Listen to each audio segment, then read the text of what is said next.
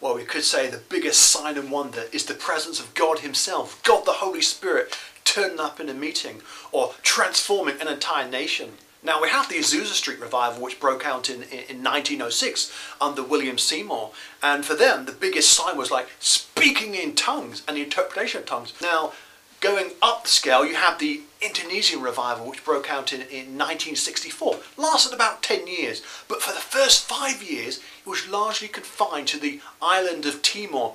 And the miracles were absolutely incredible. Literally, people walked on water, there was manna from heaven, there was just supernatural signs in the sky above. You had all the various types of healings, even like creative miracles. Interesting also, I mean, sometimes there is a revival and it's known as what I would classify as a healing revival. Basically, it's where people go and get healed.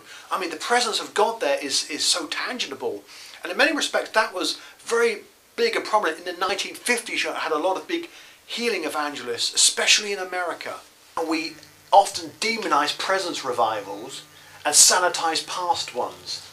And often we view them through like a rose-coloured spectacles, as if they were something which they weren't actually at all. Um, we often neglect or pretend or skim over some of the more negative aspects of revivals, something which we shouldn't do.